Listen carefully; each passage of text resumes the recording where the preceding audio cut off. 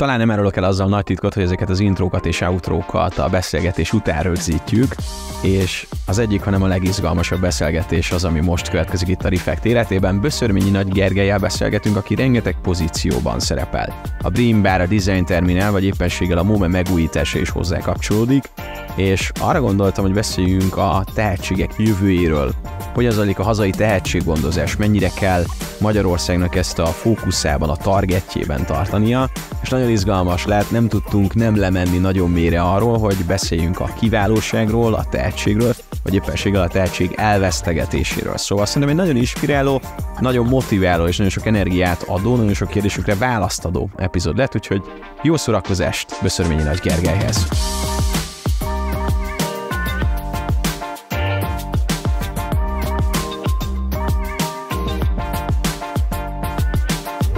Böszörményi Nagy Gergely a Design Terminál innovációs ügynökség vezetője, illetve a Brain Bar Jövő Fesztivál alapítója és a MOME alapítvány elnöke a mai vendégem. Üdvözöllek itt a podcastben. Szia, köszönöm a kívást. A hétvége után hány becsét hiányzik a kék túrához? Úgy még sok, mert gyerekkoromban édesapámmal végigjártam már a kék túrát, viszont akkor nem gyűjtöttünk pecséteket. Apám nonkonformizmusára jellemző, hogy ezzel ellen már csak dacból is tiltakozott, mi csak megcsináltuk. Viszont most a a, a mennyasszonyommal megcsináljuk úgy, hogy rendesen pecsételünk is, és uh, nem olyan régen kezdtük, úgyhogy most Kelet-Magyarországban először terítéken, és aztán majd haladunk nyugat felé. Eddigi legjobb ajánlat, amit így láttál abból a szekcióból? Most uh, benéztük a legutóbbit, mert uh, az egyik szakaszt, a, a Mátraháza uh, Sirok egyébként olyan 26 kilométeres szakaszt, azt fordított irányba csináltuk meg, azt hittük, hogy végig csökkenni fog, de így viszont végemelkedett, tehát ez egy 20 kilométeres hegymenet volt, ami hát ugye két és félszeres a Monteverestnek, most ezt viccesen mondom, 20 kilométerre át azért felfelé menni, az még a magyar dimbes-dombos tájon is jó kihívás. Ezt a fordított sirokkékestetőt, ezt nagyon ajánlom mindenkinek. Köszönjük szépen az ajánlatot, és hát akkor, hogyha már itt felfelé és lefelé menet, azért ez szerencsére felfelé menetelsz, meg mindenki úgy építkezik az életébe, hogy próbál felfelé menni. Volt egy ilyen idézet tőled, mindig nagyon biztos voltam abban, hogy mit akarok csinálni. Azt mondtad, hogy tervező, grafikus, katona, illetve filmkészítő és ügyvéd is akartál lenni. Ez egy podcastben volt, két hölgy ültél ott. Hát ebből azért nagyon sok minden megoldódott, vagy megtörtént. Meg van olyan is, amit már nem akarok. Például? Ügyvéd már nem szeretnek lenni.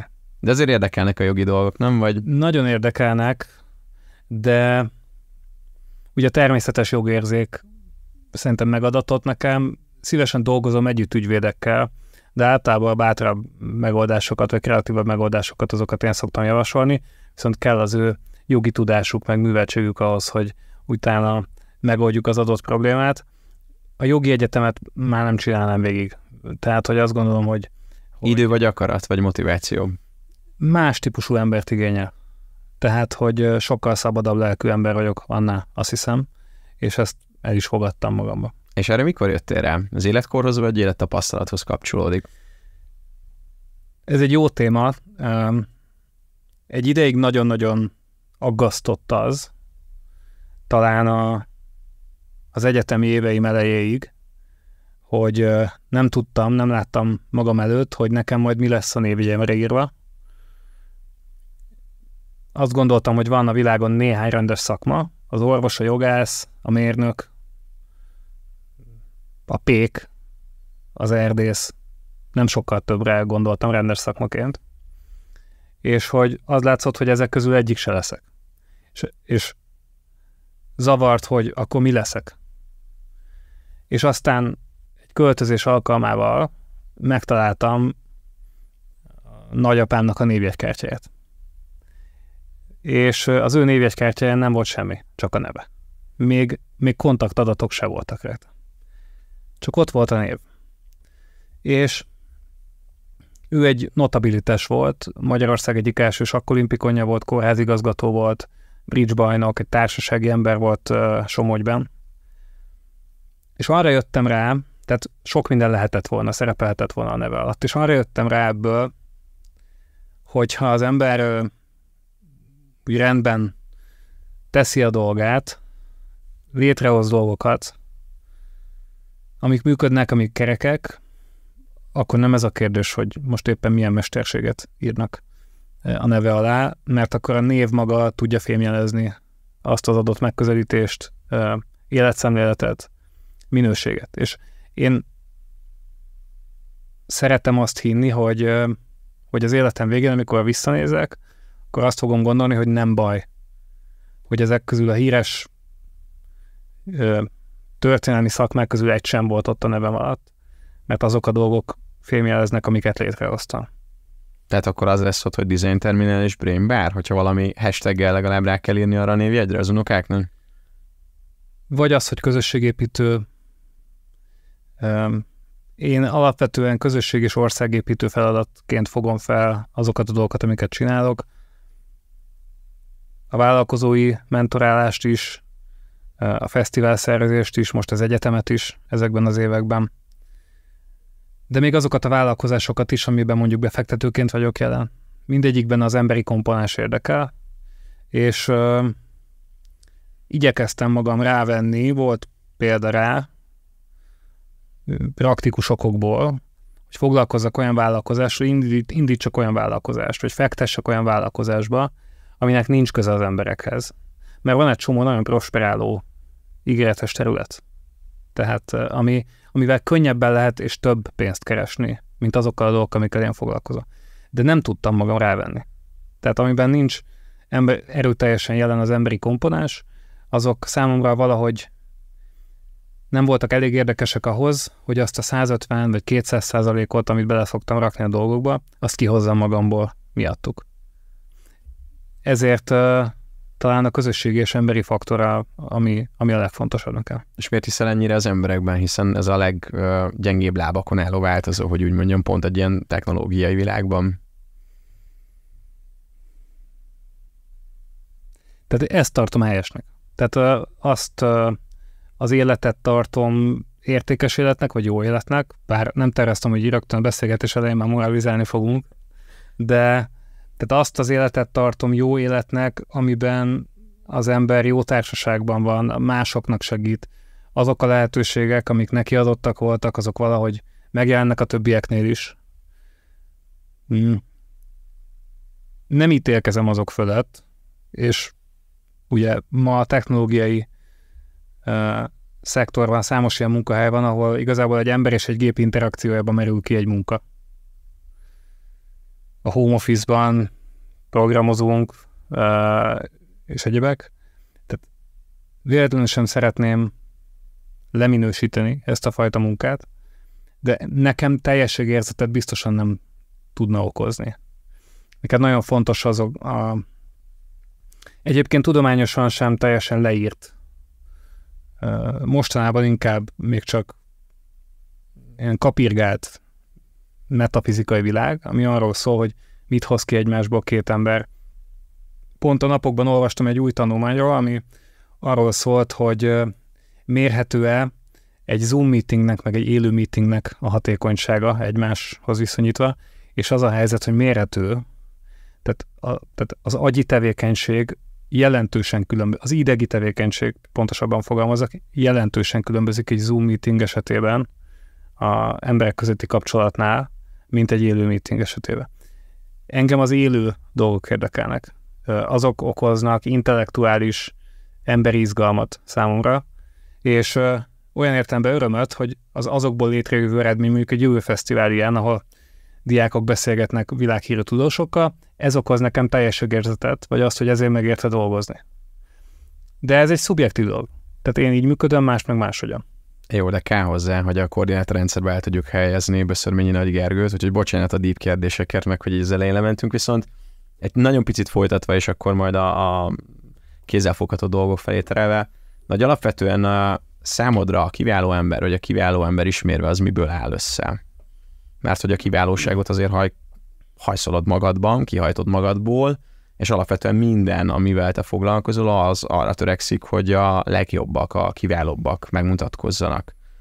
Hogyan ne legyünk középszerűek? Ezek nagyon nehéz kérdések, nagyon komoly dolog, um, amiről beszélsz. És szeretnék valami nagyon frappánsat mondani rá, de ezek gyilkos helyzetek, mert a végén akkor Figyelj, most megengedem, hogy ne 200%-osan, hanem csak 100%-osan válaszolj. Az a kérdés, hogy én magamnak megengedem -e. Most ezt elütöm azzal, hogy dolgozom egy könyvben, az jövőre fog megjelenni, és abban erről fogok írni. Úgyhogy majd abban benne lesz. És most, most meg azt mondom erre, hogy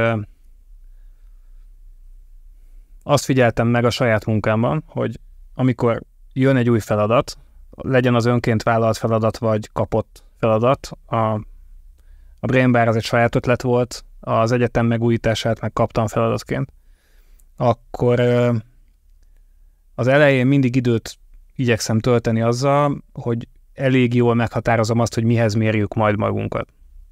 És szerintem itt van egy kulcs, hogy az ember, amikor egy, találkozik egy lehetőséggel, mindegy, hogy magának találta -e ki, vagy pedig megkapta, akkor az elején egyáltalán felteszi el a kérdést, hogy mihez fogom mérni magam, és hogy milyen filozófia vagy világkép alapján válaszol erre.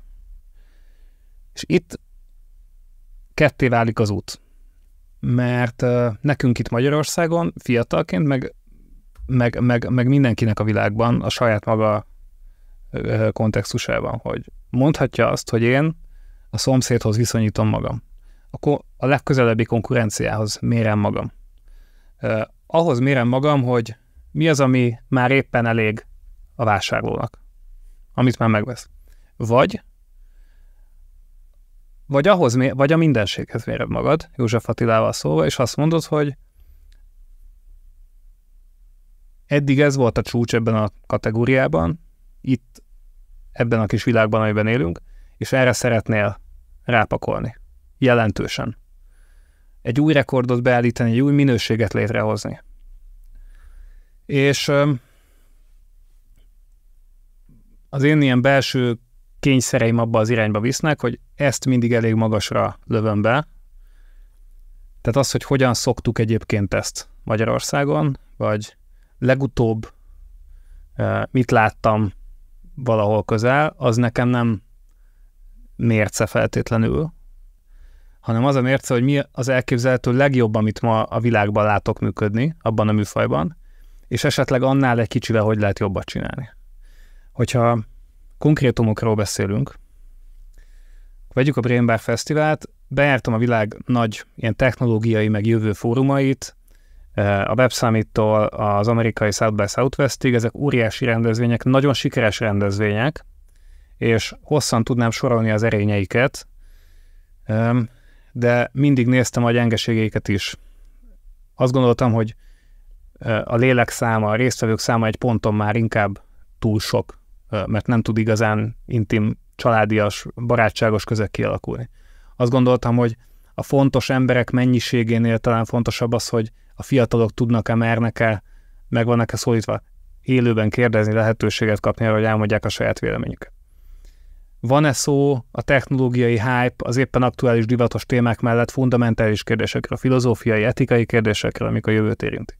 Ezeket gyenge, gyenge pillérnek láttam ezekben az eseményekben, hiányosságnak láttam. Ma is azt gondolom, hogy ezek az események e tekintetben gyengén teljesítenek, ezért én szerettem volna mindent, ami szervezettségben, professzionalizmusban rájuk jellemző, de emellett még mélyebb és komolyabb eseményt is akartam csinálni. És ebből próbáljuk meg összegyúrni a Brainbert.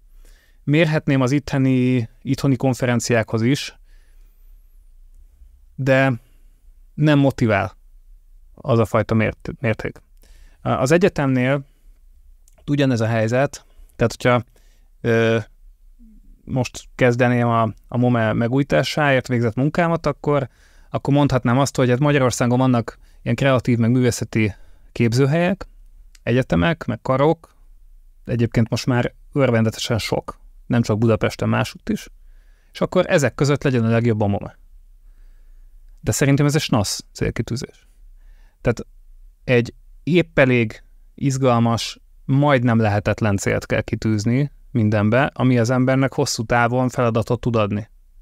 MOME esetében ez, ez a reális, éppen hogy lehetséges, majdnem lehetetlen, de még éppen hogy lehetséges célkitűzés az az, hogy Európa legjobb művészeti, akadémiai, kreatív egyetemei közé kerüljön be a MOME tíz éves távlatban. Ez, ez nagyon sok okból nagyon nehéz, és minden napot keményen végig kell dolgozni, hogy tíz éven belül odaérjünk ehhez, de nem lehetetlen, és pillanatig sem merül fel, hogy ne lenne elég motiváló cél. Se nekem, se a kollégáimnak nincsenek ez ügyben ilyen értelme motivációs problémái. Ezért ez a jó. Rá fogunk térni még a MOME, illetve ez, ez így benne lesz a folytatásban, viszont nem szeretném elengedni ezt a kiválóság témakört még, ennyivel nem úszod meg. Hogyan ne legyünk, vagy miért nem kifizetődő, inkább így kezdem, miért nem kifizetődő a középszerűség? Ez is nagyon izgalmas kérdés. Én most uh, hadd mondjam azt erre, hogy nem állítom azt, hogy nem kifizetődő. Mert azt hiszem, hogy vannak olyan területei az életnek, ahol kifejezetten kifizetődő.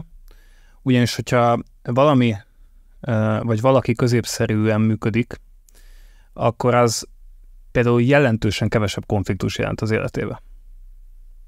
Hiszen ugye nem irritál másokat, nem hívja fel magára feleslegesen a figyelmet, nem generál ellenszenvet, nem tölt túl sok időt ilyen típusú konfliktusokkal, eltelik az élete, adott esetben nagyobb nyugalomba, békességbe, mint egy olyan szervezetnek, vagy embernek, terméknek, vagy vállalatnak, amelyik határokat dönt le. Tehát, hogyha onnan nézzük, hogy éles stratégia szempontjából kifizetődő a középszerűség, lehet, hogy nagyon sokszor igen. De mondok mást, biztos, hogy sokan vannak a hallgatók közül is, akik olyan vállalkozást csinálnak, én magam számos ilyen embert ismerek, aminek miután elindult a maga területén, és ez lehet bármi, nem kell, hogy technológiai vállalkozás legyen, lehet ez egy pékség, egy pékség is az indulás első tapasztalatai után vissza kellett venni a minőségből, mert nem, érték, nem érte meg, mert nem értékelték a vásárlók, nem is igényelték feltétlenül azt a szintet, azt a nívót, amit ő egyéb, ők egyébként vállalkozóként kitűztek maguk elé. Nagyon sok esetben látom azt, hogy pozitív visszaigazolásnak a hiánya miatt adott esetben még vissza is fejtik a magukkal szembeni minőségi elvárásokat. Nekem ilyen szempontból elképesztő szerencsém van, hogy a Brain Bar esetében megkapjuk azokat a visszajelzéseket a résztvevőktől, a fiataloktól, hogy ez minden, amit pluszban, extrába belerakunk, nem szükséges, de mégis beletesszük, arra jó fogadókészség van. Azt szeretik az emberek, és társítják hozzá. De, de nagyon sok esetben élik meg vállalkozók akár, de lehet, hogy csak alkalmazotti létben is ez egy, egy, egy programozó számára ez egy visszatérő tapasztalat, hogy ez túl jó, nem, e, erre nincs szükség. Tehát azért mondom, hogy, hogy, hogy azért a középszerűség az, az kontextus függő. Van, ahol a túlélésnek is feltétele az, hogy ne hívsz fel nagyon a figyelmet magadra. Túl jó gondolatokkal, megoldásokkal, termékekkel. Most ilyen szempontból a maximalizmus, vagy a kiválóságnak a hajszolása, ahogy te is mondtad, az annak egy komoly ára van. Tehát látni kell, akár egészségügyi szempontból is, pszichológiai, lelki szempontból. Többet kell tenni érte, nem mindig van pozitív visszacsatolás. Kérdéses az, hogy a végén értékelni fogják-e. Ez azoknak éri meg, akiknek valamilyen mély lelki örömöt, jutalmat okoz az a helyzet, hogy a gyermeki idealizmusukkal elképzelt dolgot látják megvalósulni.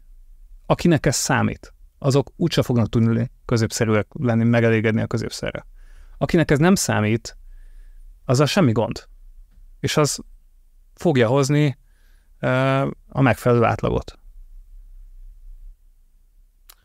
Lépjünk tovább még egyet, ugyancsak egy ilyen hát valószínűleg lelki, meg egy kicsit magasabb figyelést igénylő kérdés jön, viszont a, megfelelő tehetség elvesztegetése. Tehát, hogyha valaki valami tehetséges, akár azt a környezete mondja, vagy akár önmagába érzi, hogy ebben jó lenne, mert itt ez visszacsatol arra, amiről most meséltél.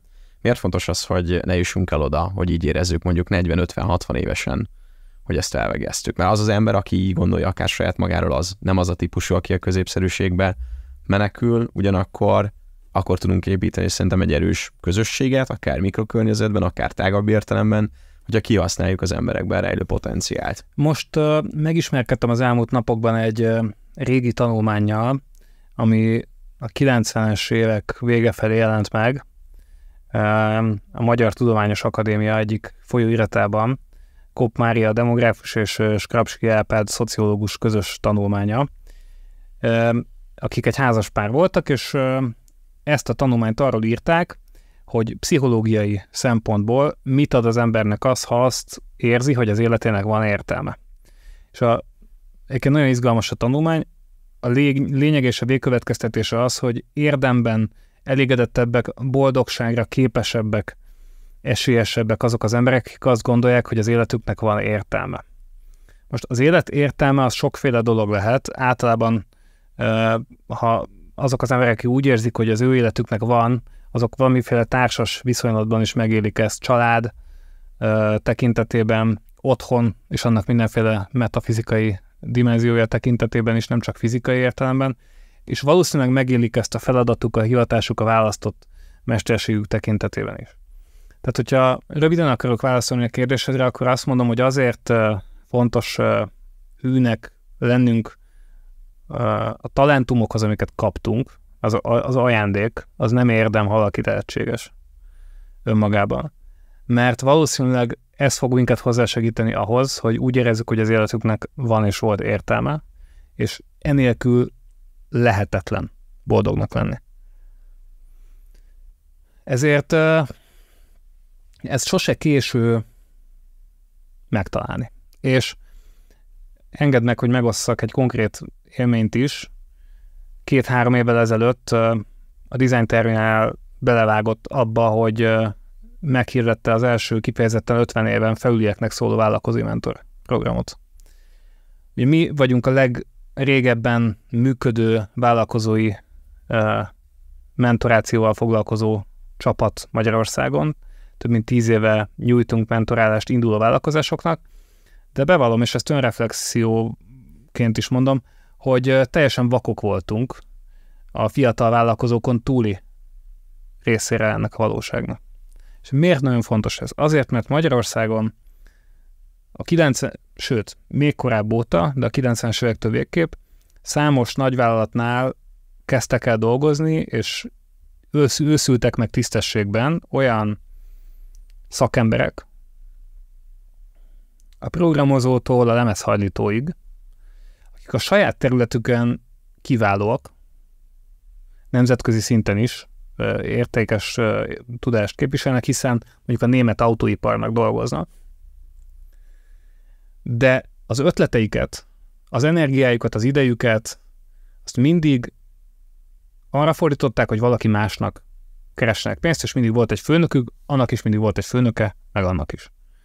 És néha, amikor hazaértek, akkor elgondolkodtak azon, hogy milyen más ötleteik lehetnének. Mégis van, aki fejleszgetett a sufniban, a raktárban, a spájzban, a garázsban, ott vannak a, az ötletei, a rajzai, a vázlatai, és sose vették a bátorságot, vagy a fáradtságot arra, hogy kipróbálják ezt a vállalkozói típusú életet, és a saját maguk főnökei legyenek. Na, nekik hirdettük egy külön programot három éve, ami arról szólt, hogy életükben először legyenek a saját maguk főnökei.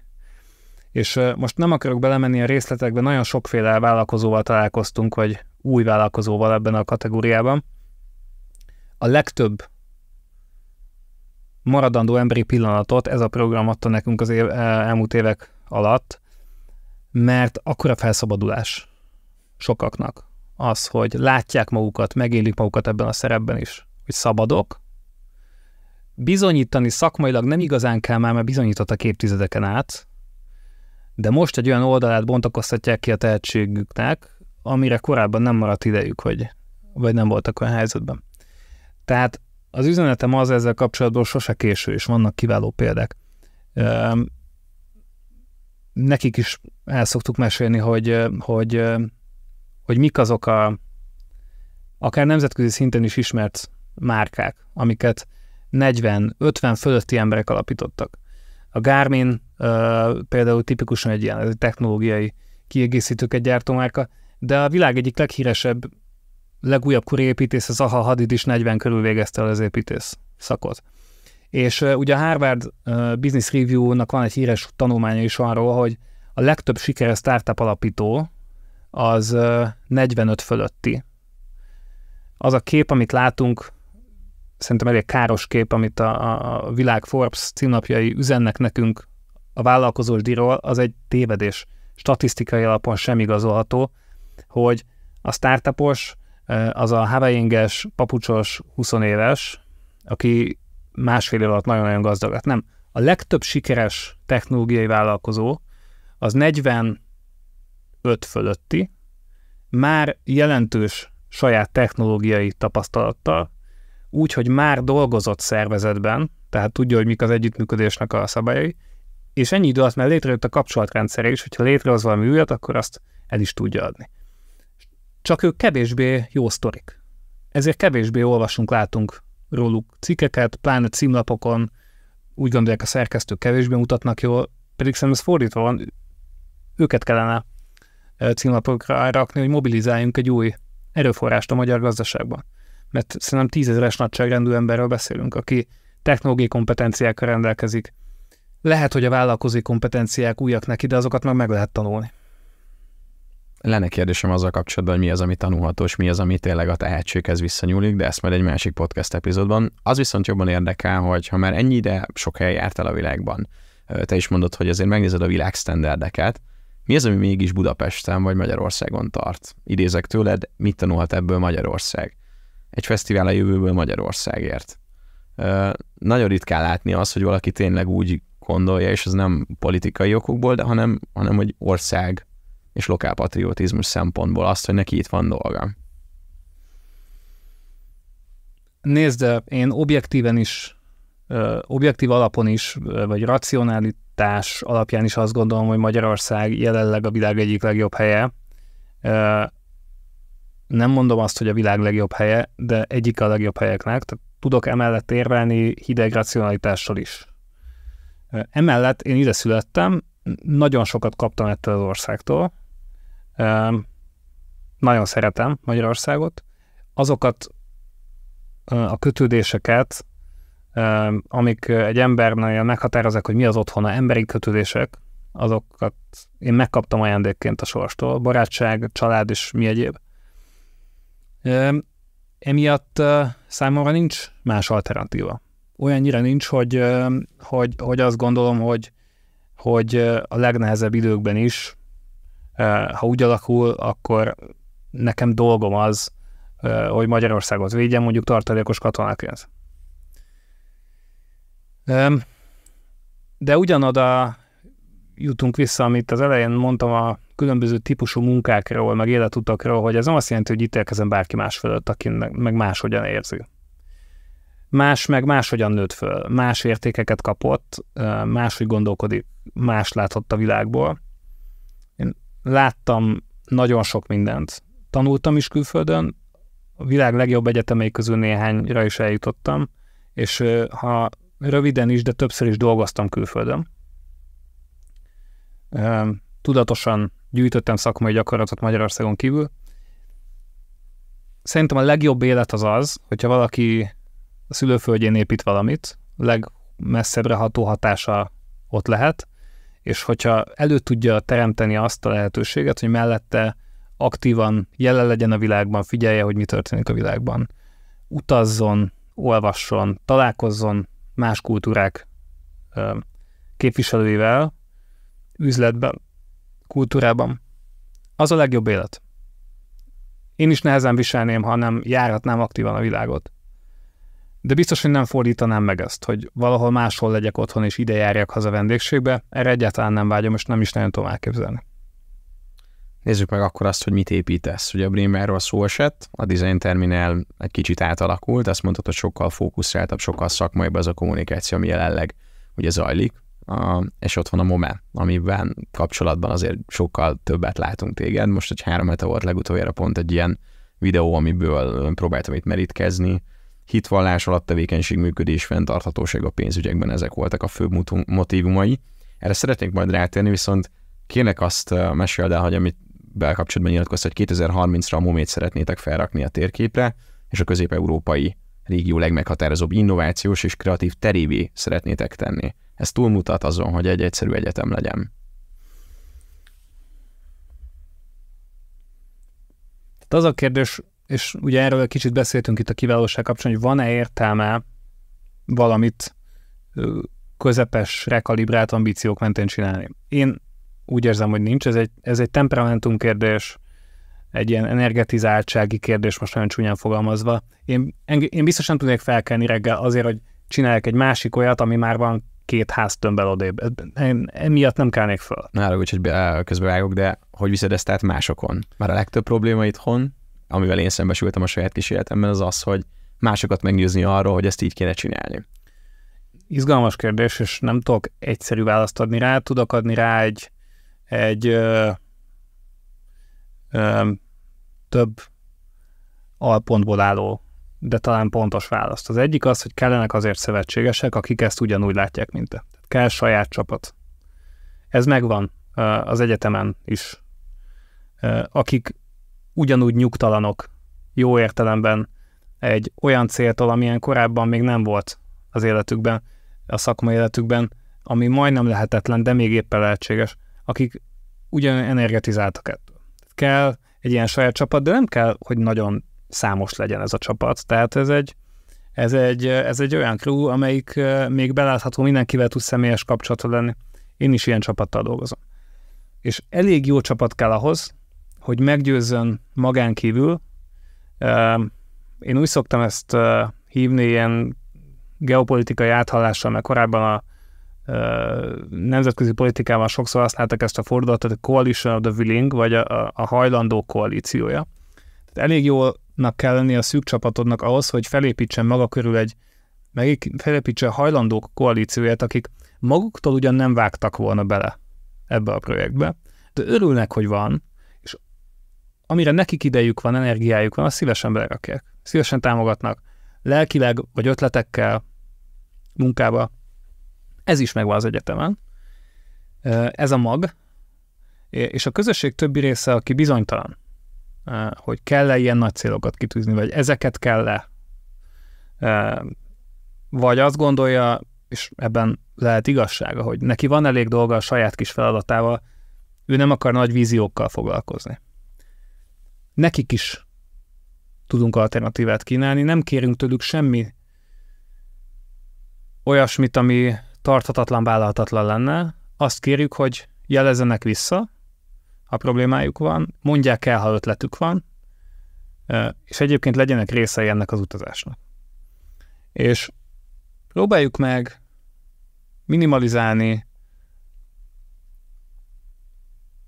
azt a elemet a közösségben meggyőzéssel, beszélgetéssel, bevonással, aki unblock ellenzi az egész folyamatot.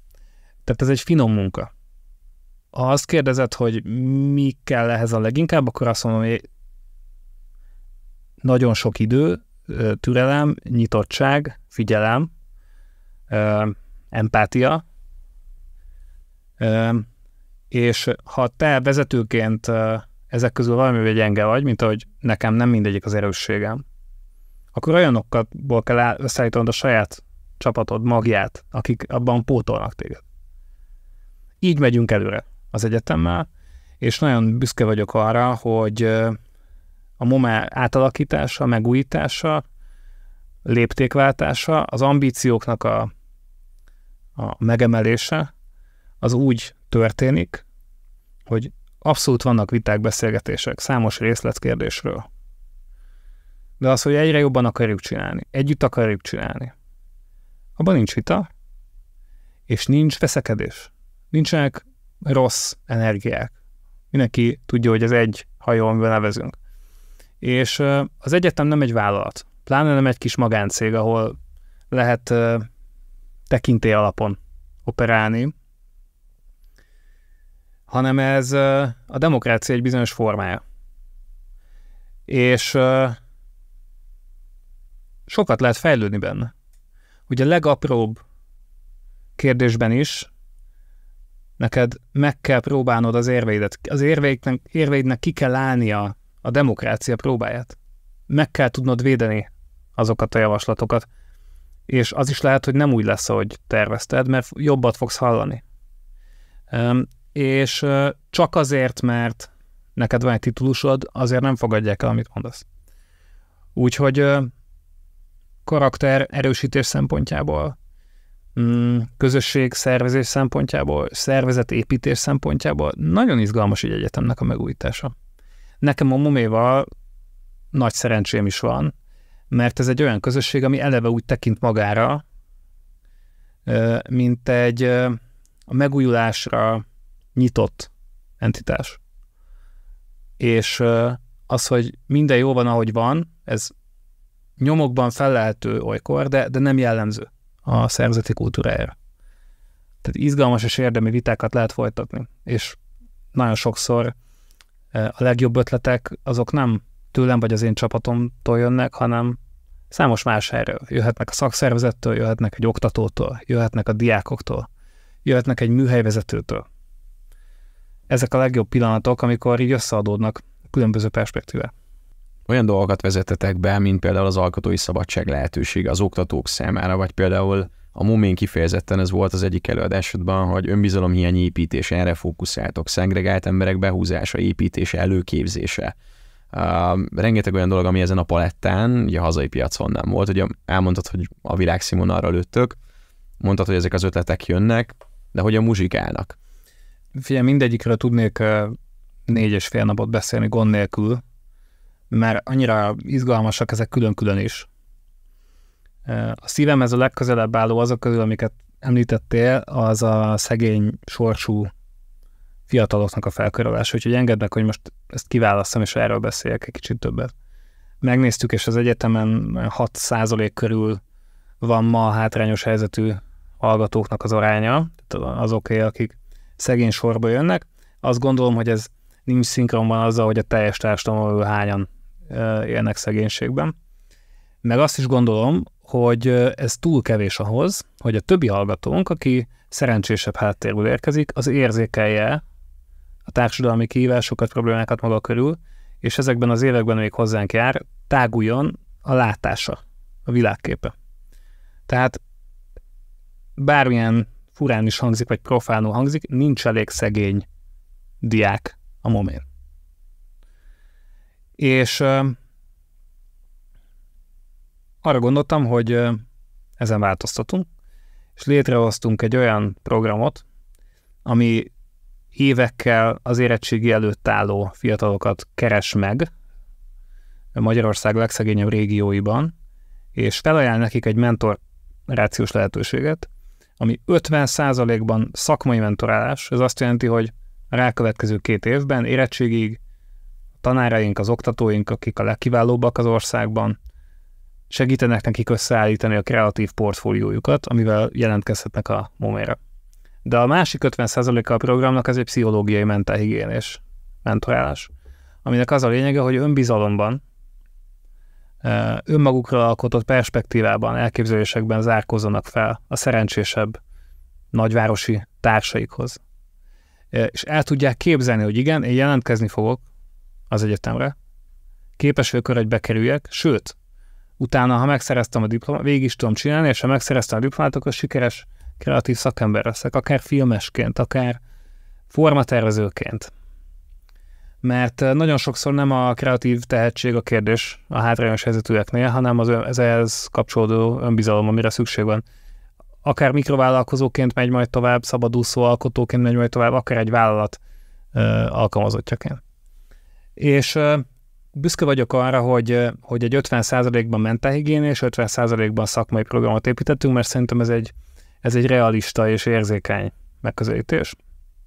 És ami a, ennek a dolognak a igazán a, a lelke, az a terepmunka. Nálunk nincsenek online interjúk, nem azt várjuk, hogy egy mikroszájton meghirdetjük a programot, és akkor majd szerte Magyarországra jelentkeznek, mert el se jutnak odáig.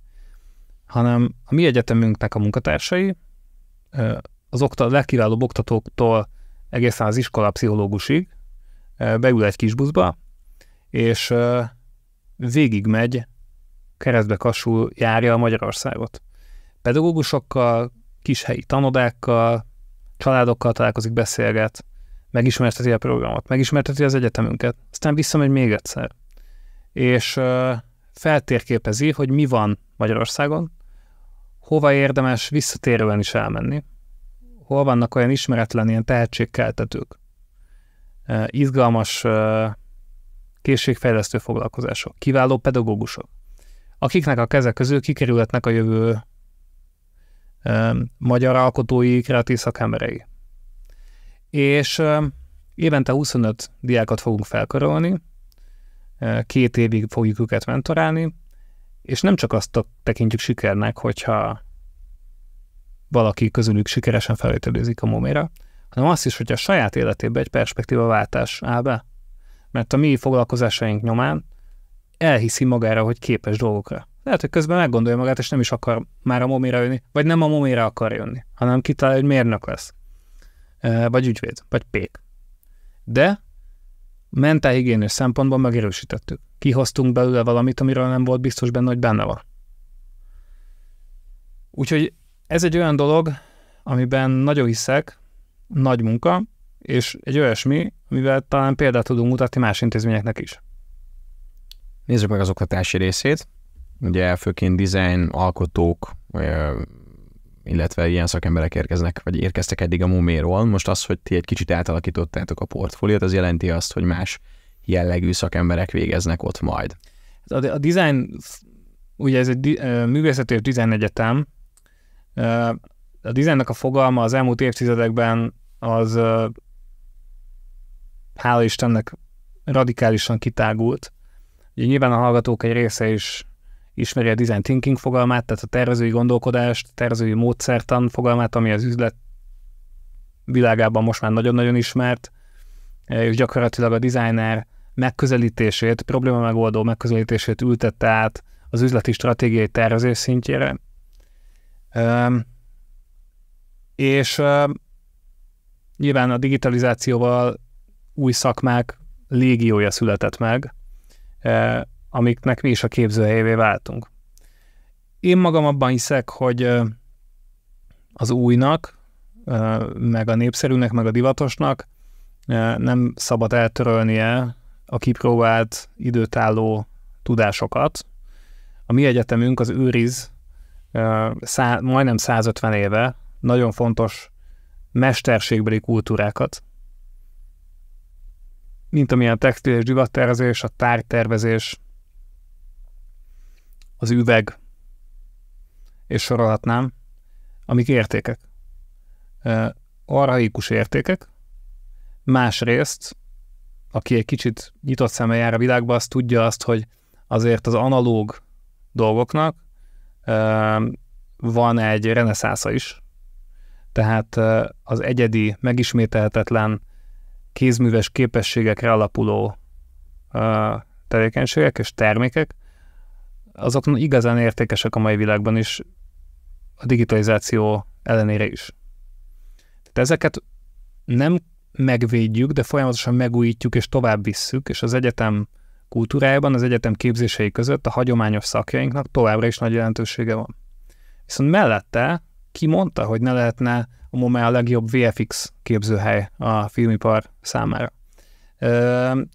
ki mondta azt, hogy, hogy nem lehetünk mi a legizgalmasabb spekulatív design műhely, ami mondjuk a klímaváltozásra reflektáló mezőgazdasági vagy ipari megoldásoknak a prototipizálásával foglalkozik.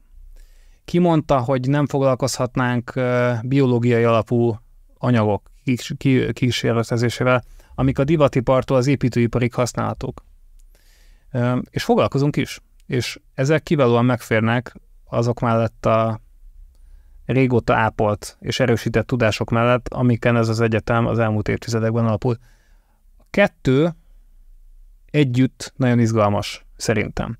Járt nálam a, az egyetemen a napokban egy oktató, aki egyébként üvegművész és üvegfújással foglalkozik nálunk az egyetemen. És azt mondta, hogy érdekes számára, hogy a tőlünk keletebbre a művészeti akadémiákon, művészeti egyetemeken csak az arhaikus mesterségeket oktatják továbbra is. Tehát kvázi kézműves képzőhelyekről beszélünk. Tőlünk nyugatra viszont a népszerű menő design egyetem már, már szinte semmit nem foglalkoznak ezekkel a szakmákkal, hanem csak virtualitásban élnek és oktatnak és tanulnak. És különleges együttállásnak látja azt, hogy a momé mind a kettő megvan. És ezt én is nagyon különlegesnek tartom, és értéknek tartom. Egy előadásodban nagyon éresen bíráltad a metaverzumot, mint egy újabb hype, úgyhogy én ezzel szeretném így körbeérinteni a történetet, hogy vannak mindig ilyen hype-ok, akár ami betér a design világába is, mint például az AI. Most azért nagyon sok alkotó kenyerét veszi el. Mondják ezt az egyik oldalon. A másik oldalon én azt gondolom, hogy a legtöbb ilyen párbeszéd legyen szó kerekasztalról, amikor szakértők beszélgetnek vagy nyilatkoznak, azért ott kiderül, hogy az ember a képletből nem kitörölhető. És hogy te amennyire hiszel az emberben, abban a képletben sem kitörölhető. Tehát szerinted az AI, a mesterséges intelligencia beszivárgása most egy hype, vagy mégis csak valamiféle paradigmaváltás, ami a művészetben legyen szó régi értékekről, legyen szó új eszközökről, beszivárok. Hát igyekszem néhány pontból összeszedni ezt a sok-sok még bennem is olykor viaskodó gondolatot, ami ezzel kapcsolatban elfogalmazódik. Ez egy mánia, én inkább hívom mániának, mert egyike azoknak a jelenségeknek az elmúlt évekből, amikor hirtelen valami nagyon gyorsan, nagyon széles körben ismerté válik, egyszerre okoz ilyen technooptimista reménykedéseket, meg egyébként apokaliptikus félelmeket az emberekben. És a mesterséges intelligencia ráadásul nem egy új tárgya ezeknek a mániáknak, valójában a harmadik hullámába járunk. A 60-as években is volt egy mesterséges intelligencia mánia, és a 80-as években is volt. Mindig kicsit mást értettek ez alatt, de mindig azt gondolták, hogy nagyon rövid időn belül mindent meg fog változtatni. Az előző két mánia idején ez nem történt meg, és a befektetők meg a kormányok is ábrándultak, tehát egy úgynevezett iparági tél követte ezeket a mániákat. Ezért az biztos, hogy valamiféle egészséges szkepszissel érdemes közelíteni hozzá. Másik, második állításom az, hogy ez egy nagyon komoly dolog. Én gyanakszom arra, hogy az evolúciónak a része. Tehát szemben a metaverzummal, ami egy teljes zsákutca, a mesterséges intelligencia látszik is abból, hogy nem, tehát hullámokban régóta velünk van a téma, az egy komoly paradigmatikus technológia, és olyan értelemben biztos, hogy része az evolúciónak, hogy az ember talán először hoz létre olyan technológiát, ami utána magát is képes reprodukálni.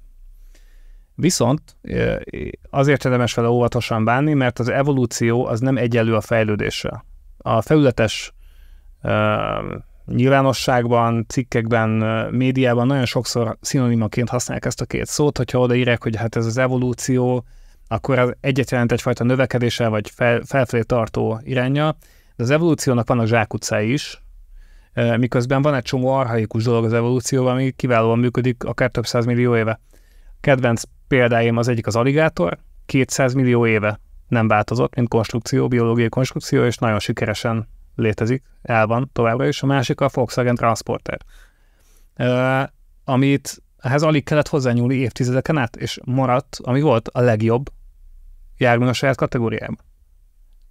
Sokan ma is esküsznek rá a T2-esre, például én is. A harmadik állításom az, hogy a művészetek a kreativitás világában nagyon sok mindent fel fog forgatni, és ennek valószínűleg lesznek ö, kárvallottjai, meg fognak szűnni álláshelyek. De talán van egy izgalmas reménység és esély is a mesterséges intelligenciában a művészek meg a kreatív szakemberek számára, az pedig az, hogy a kreatív kiválóság az újra felértékelődött, tehát hogyha egy közepesen jó illusztrációt, vizuált, mondjuk bárki létre tud már hozni, akkor az, amit rengeteg gyakorlással, egyedi világlátással, kézműves munkával, személyes erőfeszítéssel, sztorikkal a háttérben hozott létre egy élő ember, számomra biztos, hogy értékesebb lesz, amikor az a, az a kérdés, hogy mennyi pénzt fizetek ezért vagy azért. És szerintem az emberek többsége számára is értékesebb lesz. Engem nem az foglalkoztat egy műalkotásban, mondjuk egy illusztrációban, egy, egy festményben, egy grafikában, hogy az mm, első látásra mennyire szép, fontos, de nagyon izgalmas az, hogy mi van mögötte. És ami mögött nincs emberi küzdés, százezer óra gyakorlás, sok kudarc, papírkosárba dobott vázlat, az kevésbé érdekes. Ami mögött egy millisekundumnyi számítási kapacitás van csak, és nem egy fél emberi élet. Ez kevésbé érdekes. Tehát azt gondolom, hogy a, egyfajta ö, diotómia jöhet létre az AI által generált alkotások és a kézműves emberi alkotások között, és az utóbbi többet ö, fog érni. Ö, és ami a végül, de nem utolsó sorban, szerintem ami nagyon lényeges az AI kapcsán, hogy más területeken, különösen a védelmi ipar területén, hmm, ott meg a biztonsági területeken, biztonságunkat érintő területeken, én, aki egyébként általában a szabad innováció híve vagyok, azt kell, hogy mondjam, hogy érdemes lenne megfontolni az AI fejlesztésének a kordába szorítását, különösen a a hadászati katonai alkalmazások terén, és ilyen szempontból a kormányoknak, meg a nagy AI fejlesztőknek, a nagyvállalatoknak az érdeke az megegyezik, és a belépési küszöböt magasra tenni, technikai, szabályozási mindenféle értelemben, mert különben megkockáztatunk egy ilyen AI anarchia, vagy AI vadnyugat típusú állapotot, ami emberek életébe kerülhet. És ehhez lépni kell a legnagyobb fejlesztők, azok lobbiznak már a szabályozásért, ami furcsának tűnhet kívülről, mm, mert nem tűnik hitelesnek, hogy miért akarják ők, hogy szabályozzák őket. Pedig nagyon logikus, ők azt szeretnék, hogy az utánuk jövőknek már nehezebb legyen. Ők már ott vannak. A ChatGPT fejlesztő már ott van. Szeretné minimalizálni a konkurencia esélyét. Ebben az esetben nem örömmel, de azt kell mondjam, hogy az embereknek is az a jó, hogyha belépési küszöböt növeljük, hogyha a versenyt korlátozzuk ezen a területen, mert eh, nagyon komoly kockázatai vannak annak, hogyha szabadon eresztjük. A kiválóság és az ember a fókuszban azért összefoglalja azt, hogy ki Böszörményi Nagy Gergő. A mánia tekintetében van-e most olyan pozitív jellegű mániád, amiben most szerelmes vagy akár, és sokat foglalkozol vele. Mind a három tengelyen beszéljünk akár oktatásról, akár arról, hogy fesztivált, vagy akár az, hogy cégeket mentorálsz nagyon foglalkoztat az, hogy mi lesz a jövő filozófiája, ami közösségeket tud építeni, emberek közötti kapcsolatokat tud létrehozni. Erről írom a következő könyvemet is, és ez azért nagyon izgalmas most, mert azt látjuk, hogy számos területen az emberiség eljutott a növekedésnek a határaihoz. Ez népességben is így van még az is lehet, hogy jólét tekintetében is, ha csak időszakosan is, de így van. És az én generációm, meg az elmúlt néhány generáció abban szocializálódott, hogy olyan filozófusokat, gondolkodókat tanítottak nekünk, határoztak meg ilyen vezérlő csillagként, akik mindig valamiféle növekedésről, bővülésről, gyarapodásról írtak, mert az elmúlt évszázadok ennek a bűvkörében teltek. De vannak arhaikus gondolkodók, akár több ezer évre visszamenőleg, akik még egy növekedés paradigma előtti emberiség gondolkodói voltak. És az ő újrafelfedezésük szerintem azért egy izgalmas lehetőség. És lehet, hogy újra aktuálisak lesznek.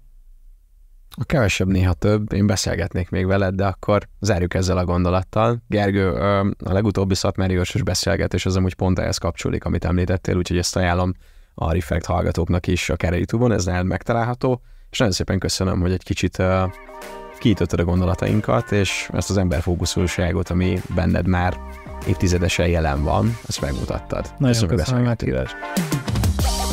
A design jelen volt akkor is, amikor megalkottuk a Cube-ot, az innovációs élmény központunkat, gyertek el és nézzétek meg, még mindig vannak szabad helyek, pontosabban újabbakat hirdettünk, Bosch, Rexroad.hu per Cube, ide tudtok eljönni és várlak titeket oda is szeretettel, mint ahogy a következő Reflect epizóddal két hét múlva csütörtökön addig is a legjobbakat.